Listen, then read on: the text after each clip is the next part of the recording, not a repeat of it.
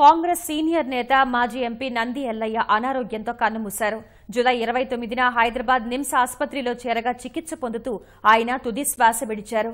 పది రోజులుగా అస్వస్థతతో చికిత్స పొందుతూ ఉండగా పరీక్షల అనంతరం కరోనాగా నిర్ధారణ అయింది.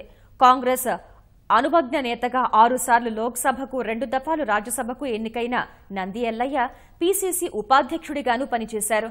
సిద్దిపేట నుంచి ఐదుసార్లు నాగర్ కర్నూలు నుంచి ఓసారి లోక్సభకు ప్రాతినిధ్యం వహించారు. ఓటమి ఎరుగని నాయకుడిగా పేరు పొందారు. కొన్నాళ్ళు శాసన మండలి సభ్యుడిగాను సేవలందించారు.